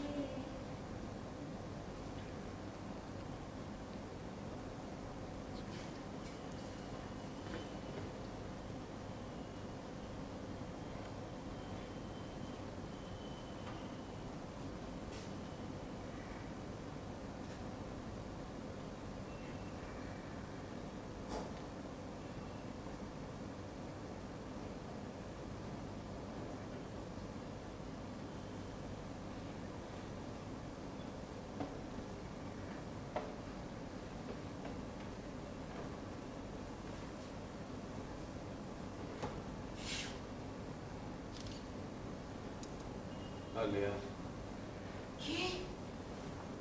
নবাব? ঘুমিয়ে পড়েছিলে ভাবলাম একবার দেখা করে যাই। আমাকে বসতে বললে না তো? সাহস হয়নি জাহাপানা খোঁজা পিট্রুর মারফত। তুমি যে পত্রখানি উদ্ধার করেছিলে তা অত্যন্ত কাজে এসেছে। শুনে সুখী হলাম জাহাপানা যুদ্ধে যাওয়ার আগে তোমার সাথে দেখা করতে এলাম কেন জানো? কৈফিয়ত দিয়ে যাব বলে। কৈফিয়ত? নবাব কৈফিয়ত দিয়ে যাবেন? সমাজ পরিত্যক্তা সামান্য এক নর্তকীকে এ নর্তকী সামান্য নয়। আমি গুপ্তচর তুমি গুপ্তচর? হ্যাঁ আমি গুপ্তচর। আপনার জন্য লুকিয়ে শত্রুপক্ষের কাছ থেকে অনেক সংবাদ আমি সংগ্রহ করেছি। যাদের কাছ থেকে সে সংবাদ সংগ্রহ করেছি তারা আমাকে কি চোখে দেখেছে বাবু? আর তাছাড়া আপনিও তো আমাকে গুপ্তচর সন্দেহে হত্যা করতে চেয়েছিলেন কিন্তু সেদিন মোহনলাল যা বলেছিল তা তো আমি ভুলিনি আলিয়া মোহনলাল বলেছিল ওর সব গেছে। কিন্তু দেশাত্মবোধ চাইনি মোহনলাল আমার মনের কথা কতটুকু জানে জাহাপানা নিজেকে তুমি এত প্রচ্ছন্ন রাখতে চাও কেন? লজ্জায় নিজের লজ্জা গোপন করবার জন্য।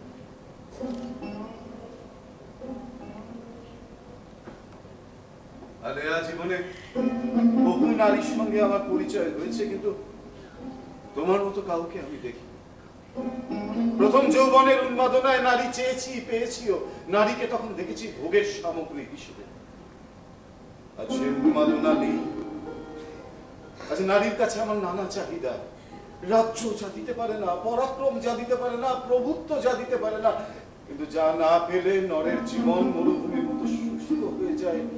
তাই আমি আর চাই নারীর কাছ থেকে। লোকে বলে আমার লালসা, কিন্তু আমি জানি লালসা নয়। এ নরের অন্তরের একান্ত এক আরতি। নবাব কি এই কৈফিয়ত দিতেই এখানে এসেছে? কিন্তু কেন তা বুঝো না। কাঁপছো কেন আলেয়া নবাবের সাথে নিভৃতে কথা বলার অভ্যেস নেই তো তাই বোধ হয়। তোমার কি ভয় করছে আলেয়া? হ্যাঁ জাহাপানা আমার খুব ভয় করছে। আমি বোধহয় নিজেকে আর সামলে রাখতে পারব না। কি হয়েছে আলেয়া? কষ্ট।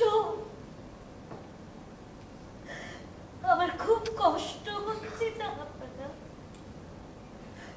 আমাকে আমাকে কিছুক্ষণের জন্য অনুমতি দিন, আমি নিজেকে সামলে নিয়ে আবার আবার ফিরে আসব। আমি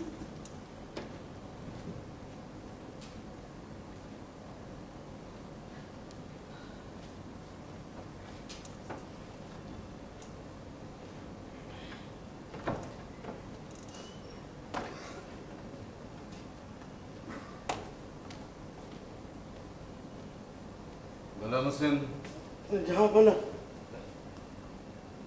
চোখে জল কেন গোলাম হোসেন দাঁড়িয়ে দাঁড়িয়ে কিন্তু চোখেই পড়ল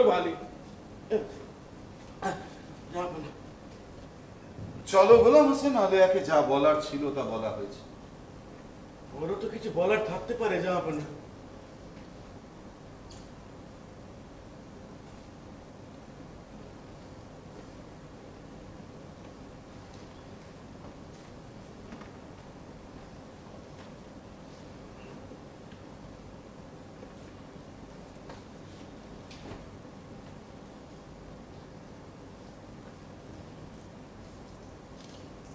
বেয়াদবি মাফ করবেন জাহাপনা ভেবেছিলাম একখানা গান শুনে যাব গান হ্যাঁ কাল যুদ্ধে যাব যদি আর না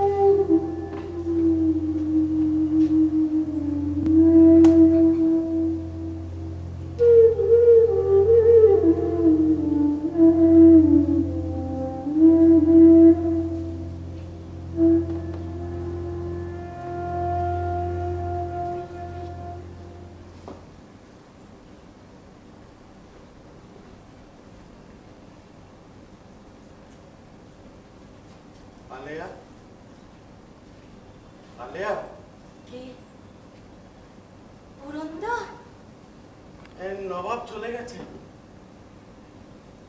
ও তুমি কখন এলে এ, কাল রাতে নবাবের সাথে হ্যাঁ তুমি সারা রাত তাহলে বাইরে বসে জেগে জেগে চোখ জ্বালাও করছে আর চোখ দিয়ে জলও করছে পুরন্দর তুমি যুদ্ধে যাবে যাব বলেই তো তোমার সাথে দেখা করতে এলাম তাহলে আমিও যাব যুদ্ধে তুমি এ থাকবে কোথায় নবের পাশে পাশে না তোমারই কাছে কাছে ঠাট্টা করে অমন কথা বলো না আলেয়া আমি হয়তো সত্যি সত্যি কেঁদেই ফেলব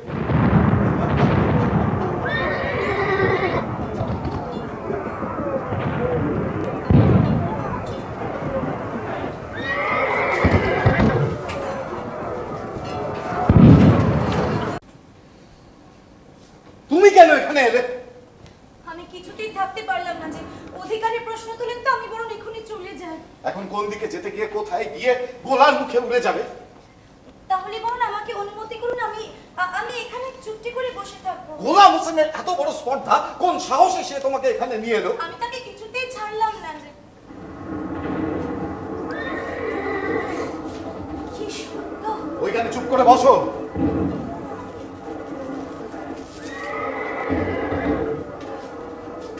শুধু কামানের আওয়াজই তো পাচ্ছি যুদ্ধ কোথায় হচ্ছে জাহাপানা ওই গোলার একখানি এসে যখন শিবিরে পড়বে তখন বুঝতে পারবে যে যুদ্ধ কোথায় হচ্ছে জাহাপানা জাহাপানা শীঘ্রই সিপাহসালারকে স্মরণ করুন লাক্ষাবাগের উত্তরে কাহিপুর রচনা করেছি। আমরা সরোবরে এদিক থেকে গোলা বর্ষণ করছি। আমার বইয়ের মধ্যভাগে আমি একদিকে মুরুল্লাল, অপরদিকে ফরাসিবির সেন্ট্রে।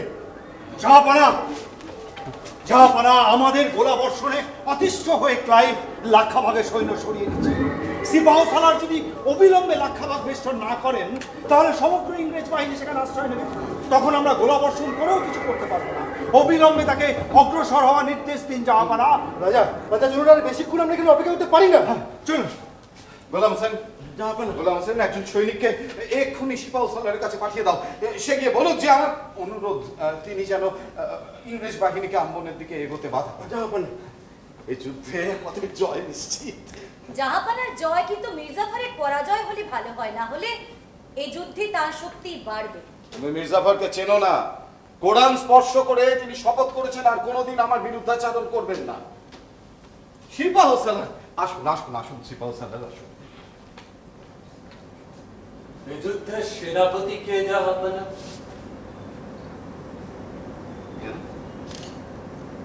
আপনি আমাকে যদি সেনাপতি জানেন তাহলে সৈন্য পরিচালনার ভার আমার উপর অর্পণ করে নিশ্চিন্তে থাকুন। বৃথা উপদেশ দিয়ে আমার ধৈর্যচ্যুতি ঘটাবেন না।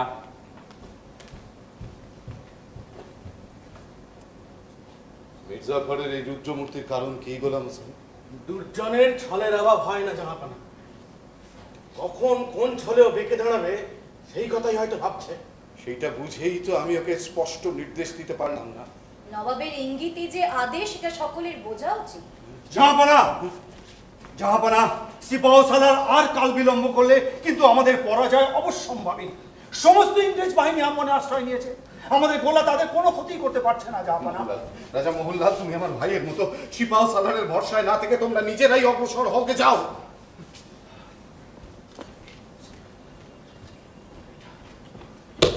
Your Excellency, plan will work. যুদ্ধ হইতেছে অন্যরকম this is not the word victory আমরা কামান চালাইতেছি মির্জাফর চুপ করিয়া দাঁড়াইয়া থাকিবে। থাকবে বেশ করবে। নিজেরা পারো যুদ্ধ করো তো যাও না হলে পালাও আমাকে বিরক্ত করো না যাও। ওয়েল এক্সেলেন্সি এরা আমাকে পাগল করে তুলবে খালি।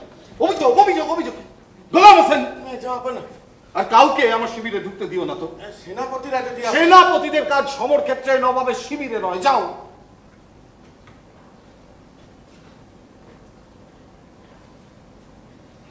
জানলে আমি আমার সেনাবাহিনীর অধিকাংশ রয়েছে মির্জাফর রায়দুল্লাহ রিয়াল লতিফের অধীনে। এখন যদি আপনার সেনাবাহিনীর অধিকাংশ ওদের অধীনে কেন রয়েছে? তোমাকে এসব কথা বলা বৃথা। গোলাম হোসেন আলেয়া জানতে চাইছে আমার সেনাবাহিনী আমি সেনাপতিদের অধীনে কেন রেখেছি। সে কি হলে শোভনী কথা। আপনার ধন পরকে দিয়ে দৈব কোমরের কাঁথা হয়ে তুমিও পরিহাস করছ গোলাম হোসেন? পরিহাস নয় যাহাবনা প্রকৃত অবস্থা বর্ণনা করছে। নবাবের জায়গায় পান বলেই সেনাপতিরা সৈন্য রক্ষায় সক্ষম হন। অথচ আশ্চর্য এই যে সৈন্যরা নবাবের আদেশ পালন করেন না। যুদ্ধের সময় সেনাপতির খোঁজ মেজাজের উপরই নবাবকে ভরসা করে থাকতে হয়। তুমিও এসবের কিছুই বোঝো না। সত্য বলেছেন জাহাপনা আমরা সরল লোক সহজ কথাই বুঝি। কি তোমাদের সহজ কথা? সহজ কথা এই যে জয় নিশ্চিত জেনেও যে সেনাপতি শত্রুকে আক্রমণ করে না। দূরে দাঁড়িয়ে শত্রুর তারিফ করে। হয় সে উন্মাদ নয় সে বিশ্বাসঘাতক। গোলাম হোসেন! সেনাপতি মির্জাফর বিশ্বাসঘাতক! এখনও সে পরিচয় পাননি জানা গোলাম হোসেন! নবাবের বান্দা যে বুদ্ধি রাখে নবাব তার অধিকারী নন তাই না? হাত পা যার বাঁধা তার নীরবে মার খাওয়া ছাড়া কি উপায় থাকে গোলাম হোসেন? আমি বেশ বুঝতে পারছি, তুমি নবাব হলে কি করতে? তুমি নবাব হলে মির্জাফরকে কড়া হুকুম দিতে। মির্জাফর সে হুকুম মানতো না, তুমি তাকে বন্দি করতে খবর পেয়ে তার সিপাহীরা করতো বিদ্রোহ, তোমার শিবির আক্রমণ করে তোমাকে করতো হত্যা। নবাবই তোমার মুহূর্তে ঘুচে যেত, বুঝলে বুদ্ধিমান? আমি সব জানি, সব বুঝি, তবু বাধ্য হয়ে মির্জাফরকে খাতির করি, তোমরা বিরক্ত হও, নিজের ওপর নিচে আমি বিরক্ত হই, কিন্তু কি করব? উপায় নেই, গোলাম হোসেন, উপায় নেই। জাহাপানা! জাহাপানা! সেনাপতি মীর মদন মীর মদন বিশ্বাস সন্তান। মীর মদন হত জাহাপনা হত।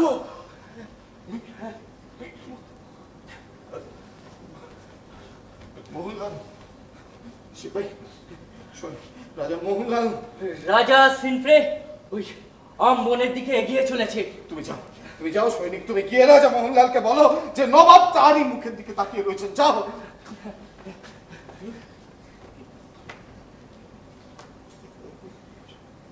এই যে শিপাল সালার মীর মদন হত। শত্রুর গোলার সামনে বুক চিতিয়ে দাঁড়ানোর নাম বীরত্ব নয় জাহাপনা নির্মদনের মৃত্যুর কারণ তার এই অবিমৃষ্যকারিতা মোহনলালেরও ওই একই দশা হবে। কথাটা বলতে বুকটা একটু কেঁপে উঠল না সিপাহ সালার সমর শিবিরে দুর্বলের অবধি না থাকাই শ্রেয়। জাহাপনা আমার মতে আজকের মতো যুদ্ধ স্থগিত রাখাই ভালো। জয় যখন করায়ত্ত সেনাপতি মীরমদনের মৃত্যু সিপাহীদের দমিয়ে দিয়েছে। আমাকে সেনাপতি মীরমদনের মৃত্যু আমার বুকের পাঁজর ভেঙে দিয়েছে। ভগ্নোৎসাহ সিপাহীদের নিয়ে এখন যুদ্ধযাত্রা করলে শুধু সৈন্য নাশই হবে যুদ্ধ জয় আর হবে না। রায়দুল্লাহ আর ইয়াল লতিফ আমার সঙ্গে একমত শুধু উদ্ধত মোহনলাল আর ফরাসি সিনফ্রে যুদ্ধনীতির মোটা কথাটা বুঝতে অসমর্থ। বুঝতে তো আমিও বড় পারছি না খুব দুর্বোধ্য তো নয় জাহাপনা আজ রাতে সিপাহীদের বিশ্রামের অবসর দিয়ে কাল নব উত্তমে যদি আমরা ক্লাইভকে আক্রমণ করি তাহলে তারা কিছুতেই আমাদের গতি রোধ করতে পারবে না। রাত্রির অন্ধকারে ইংরেজ যদি আমাদের আক্রমণ করে তাহলে একটি ইংরেজও তাদের শিবিরে ফিরে যাবে না। আমি আমি ভাবতে পারছি না শিপাল সালার আপনি আমার ভরসা স্থান আপনি যা ভালো বোঝেন করুন। আমি যুদ্ধবিরতির আদেশ প্রচার করছি জাহাপানা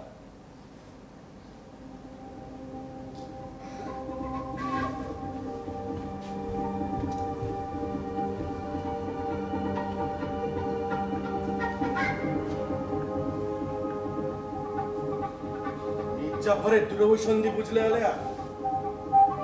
মোহনলাল আর শিল্পের আক্রমণে ক্লাইভ আকৃষ্ট হয়ে উঠেছে। আর তাই ক্লাইভের অনুরোধে ক্লাইভকে স্বস্তি দিতে মির্জাফর এই ব্যবস্থা করেছে। পলাশি যুদ্ধের শেষ সিদ্ধান্ত হয়ে গেল আলেয়া। কিসের সিদ্ধান্ত শোচনীয় পরাজয়। আরে পরাজয়ের অর্থ কি জানো?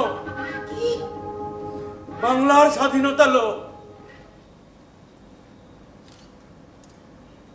কি হলো কামানের আওয়াজ একেবারে বন্ধ হয়ে গেল কেন? যুদ্ধ আর হবে না। মির্জাফরের আদেশ। জাহাপানা! জাহাপানা! জাহাপানা! আপনি আপনি সেনাপতির এই অন্যায় আদেশ সমর্থন করেছেন। আর কি করতে পারতাম মোহনলাল? বলেছে বলেছে আর কি আমাদের সামনে দাঁড়াতেই পারতো না। আর কিছুক্ষণের মধ্যেই ওদের আত্মসমর্পণ করতে হতো। They would have surrendered in no time, Your Excellency. কিছুক্ষণের মধ্যেই সন্ধির প্রস্তাব পাঠাতে হতো। আরে তুমি বলো এক কথা শিপাও সালার বলেন ভিন্ন কার কথা আমি বিশ্বাস করি?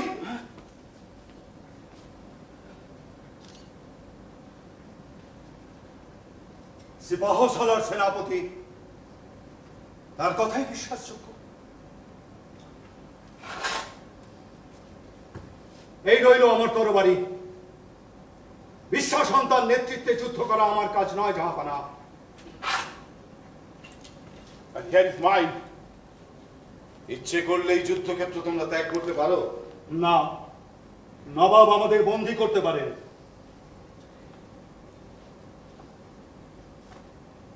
এত সহজেই কি সমস্ত প্রশ্নের মীমাংসা হয়? আমাকে এভাবে অসহায় একা ফেলে রেখে কোথায় যাবে তোমরা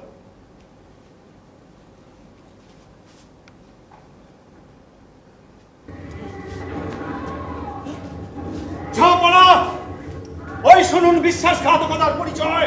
কমন রাজা they attacked our man those cowards Ghulam Hussain! Ghulam Hussain যুদ্ধ শেষ। তাহলে আবার কেন এই কমান করছ? তবুও বলছি গোলাম হোসেন যুদ্ধ শেষ। আর আমার নবাবিও শেষ। জাহাপনা আমি জানি কি হয়েছে। ইংরেজরা আমাদের উপর আক্রমণ করেছে আর আর যুদ্ধবিরতির আদেশ পেয়ে আমাদের সৈনিকেরা বিশ্রামের আয়োজনে রত। হঠাৎ আক্রমণে তারা চারিদিকে ছুটে বেড়াচ্ছে। রাজা মোহনলাল তাদের বেড়াতে পারছে না। সেনাপতি মীর জাফর ক্লাইভের শিবিরে রায়দুল্লাহ বিহার লাতিফ। দূরে দাঁড়িয়ে ইংরেজের রণনৈপুণ্য দেখছে। রাজা মোহনলাল এই সংবাদ জানাতেই আমাকে এখানে পাঠালেন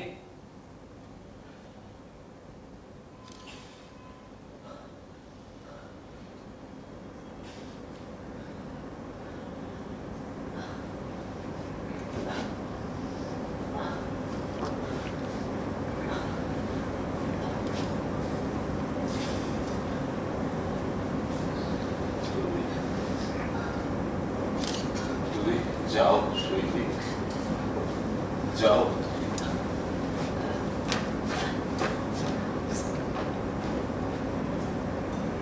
গোলাম হোসেন, ঝাপড়া রাজধানী অরক্ষিত এখনও আত্মপ্রবঞ্চনা গোলাম হোসেন। সোজা কথায় বলো এখন আমাদের পলায়ন উচিত।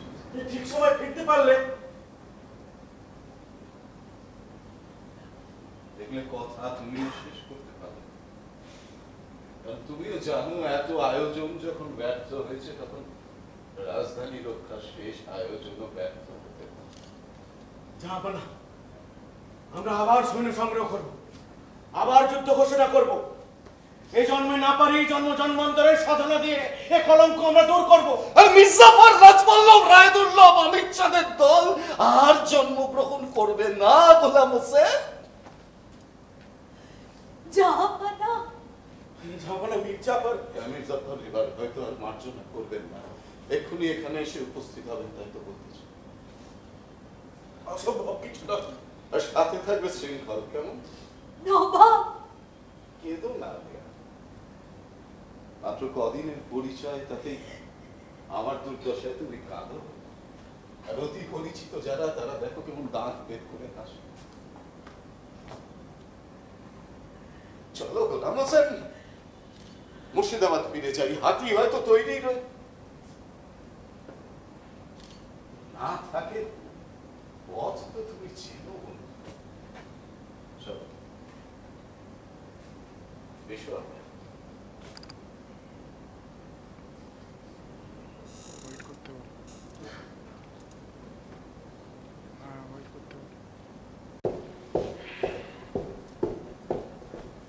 Is this the royal camp?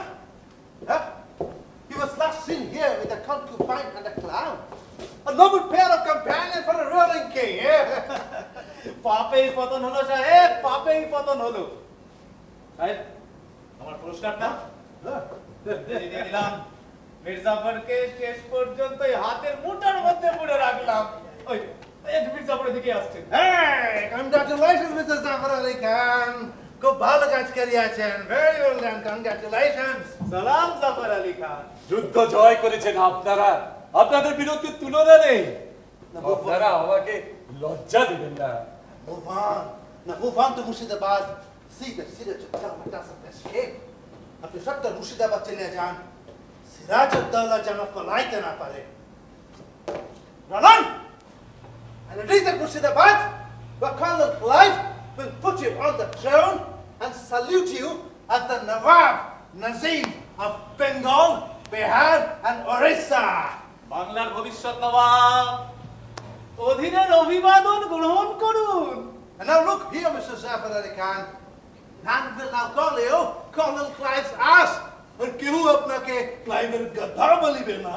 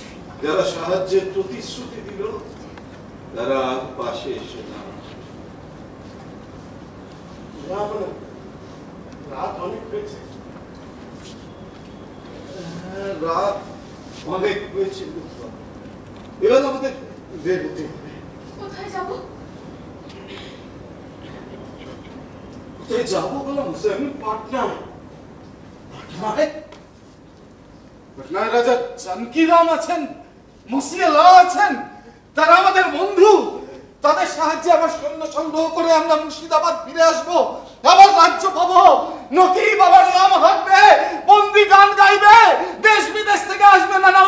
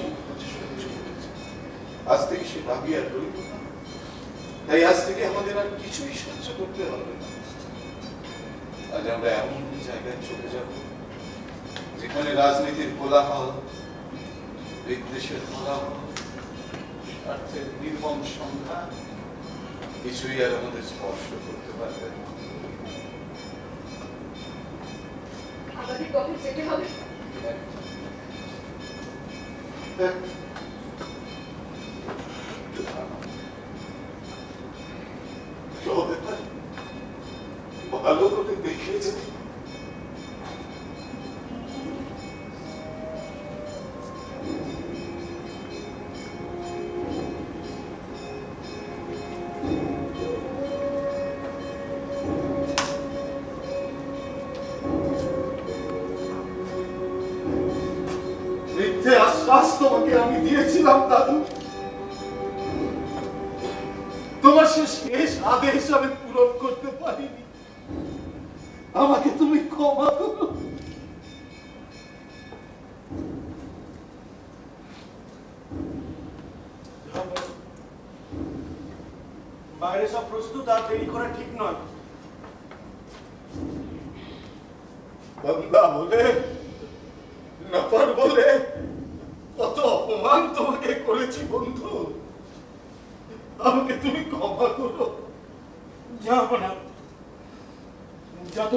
থাকবেন এই গোলাম হোসেনকে বান্দা হিসেবেই জানবেন। আমাদের কিছু দূর এগিয়ে দিয়ে আসবে তো জানেন সকলের অগোচরে আপনাদের চলে যেতে হবে। ভুলে যাই গোলাম হোসেন ভুলে যাই। সকলের অগোচরে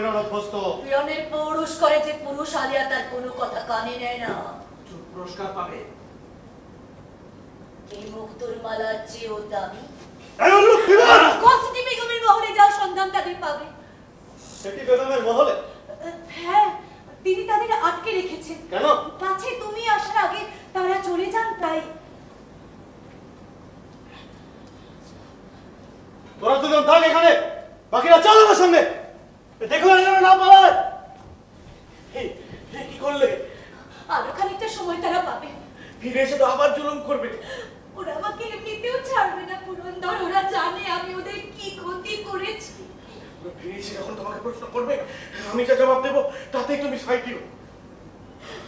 আমার সব দোষ তুমি নিজের কাঁধে তুলে নেবে তো। ওরা তোমাকে অমানসিক অত্যাচার করবে। ওরা তোমাকেও ছাড়বে না পুরন্দর। তার ভাগ তুমিও পাবে। চিন্তা করো না এত বড় বিপ্লবে যখন আমরা দুজন একসাথে থাকতে পেরেছি তখন মৃত্যু আমাদের একসঙ্গেই হবে। নবাব ঘোষণী মহলে এই! ও তাহলে হয়তো বোনপোর প্রতি তার দয়া হয়েছে তিনি তাদের ছেড়ে দিয়ে শাহজাদা শাহজাদা আপনার পিতা মুর্শিদাবাদে এসে পৌঁছেছেন। তিনি ভূতপূর্ব নবমের সংবাদ পাওয়ার জন্য ব্যস্ত হয়ে উঠেছেন। সংবাদেরা জানে কিন্তু গোপন রাখছে। এই এই বল আমার কথায় বল। বলব না। পলাশির প্রান্তরে এই বীরত্ব কোথায় ছিল? হিন্দু কুলরত্ন? ভূতপূর্ব নবাব কোথায় তোমাকেই বলতে হবে সুন্দরী। ভূতপূর্ব নবাব আলীবর্দী বহুদিন আগে গত হয়েছে। নবাব সিরাজদৌল্লা সেনাপতি! তোমার গলায় কাশিম বাজারে। লজ্জা করে না আপনার? কাশিম বাজার কুঠিতে আপনি যাদের বন্দি করতে গিয়েছিলেন আজ তাদের আদেশ পালন করতে এখানে এসেছেন? ছি! শাহজাদা এদের মুখ থেকে একটা কথাও বার করা যাবে না। এদের কারাধ্যক্ষের নিকট পাঠিয়ে দেওয়া হোক একমাত্র এরাই জানে সিরাজ কোথায়। একমাত্র আমরা জানি তিনি কোথায় তাই তোমরা জন্মেও তা জানতে পারবে না। জাঁক বেশি করো না লেয়া মরণ যন্ত্রণায় অস্থির হয়ে খবরটা বলে ফেলতেও পারো। মৃত্যু? হ্যাঁ কারাধ্যক্ষের প্রতি সেই আদেশই থাকবে। যাও এটা নিয়ে যাও। এই যাও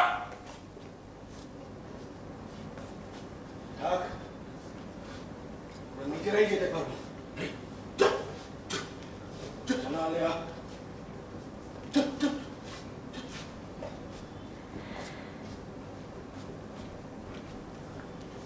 কোন পথে পালিয়েছে বলে মনে হয় সেনাপতি? রাজমহলের পথে। মফিয়ে লাশ সেই পথের কথাও আছে। আর পাটনার বাংলা বিহার উড়িষ্যায় দুইজন ব্যতীত তৃতীয় কোনো ব্যক্তি নেই যে সিরাজকে আশ্রয় দেয় তার অনুমান যদি সত্য হয় তাহলে কাল বিলম্ব না করে রাজমহলের পথে এখনই কোনো সৈন্যধ্যক্ষকে পাঠিয়ে দেওয়া উচিত। চলে যান। চলে যান। শাহজাদা বলুন না যান। এখন থেকে কি আপনারই আদেশ আমাদেরকে পালন করে চলতে হবে। হয় সম্ভব, কারণ জানেন তো, পিতা রাজ্য পরিচালনায় তেমন সক্ষম না আর এরই মধ্যে লোকে তাকে ক্লাইভের গর্ধব বলে উপহাস করতে শুরু করেছে।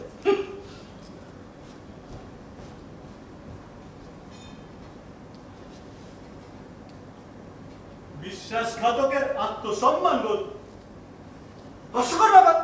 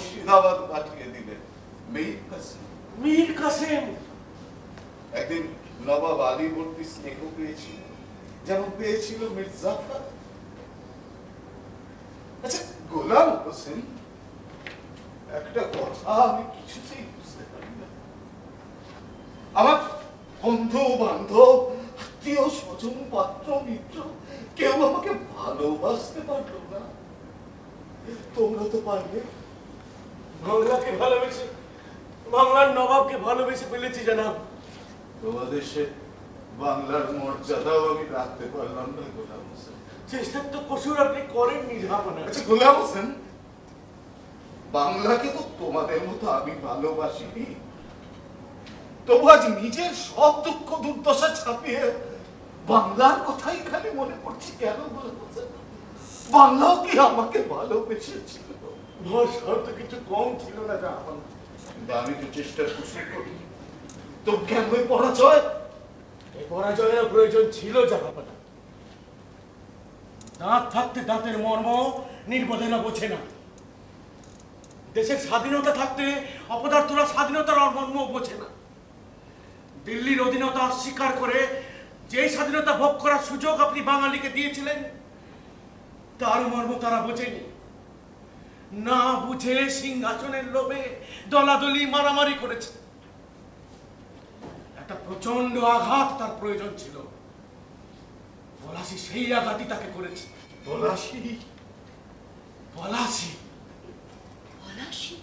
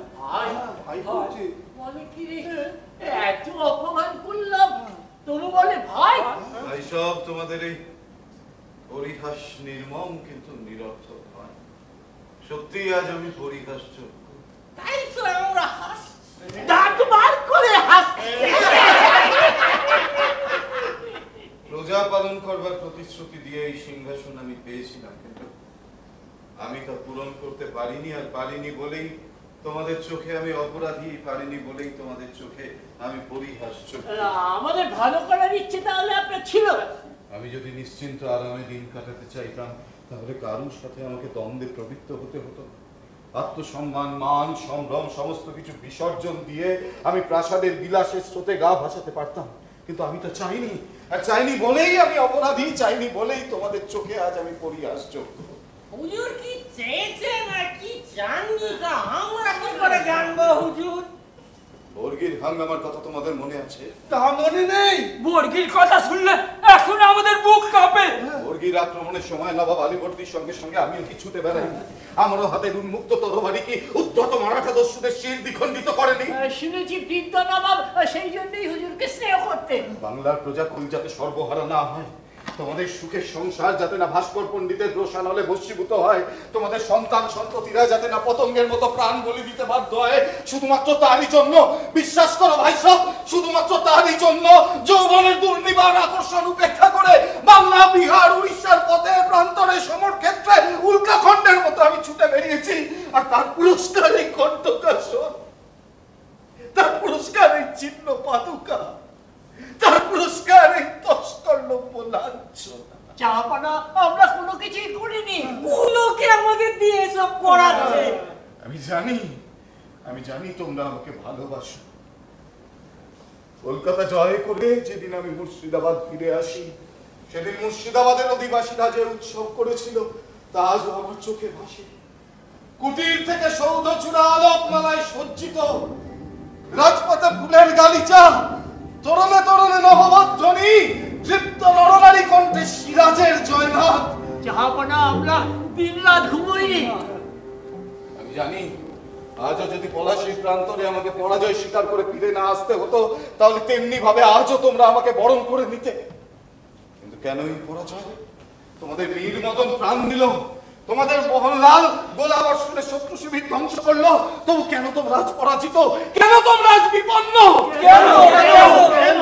হুজুর আমরা যে দুর্বল। হাজার হাজার সৈন্য পলাশির প্রান্তরে পুতুলের মতো চুপ করে দাঁড়িয়ে থাকল। আর পরাজয় পিছন থেকে এসে কলঙ্কের কালিমা সকলের ললাটে মাখিয়ে দিল। কে কৈফিয়ত দেবে?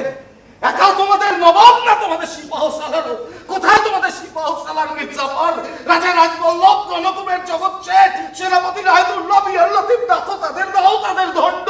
আমরা ডাকলে কি তারা এখানে আসবে? আমি তো আমি তো তোমাদের দণ্ড মাথা পেতে নেওয়ার জন্য তোমাদের সামনে এসেছি। তুমি আমাদের রাজা। তুমি আমাদের দেবতা। তাই যদি সত্যি জানো সত্যি যদি বুঝে থাকো যে তোমাদের সাথে আমার সম্পর্ক জন্ম জন্মান্তরের, তাহলে এসো ভাই সব। এসো আরেকবার চেষ্টা করে দেখি।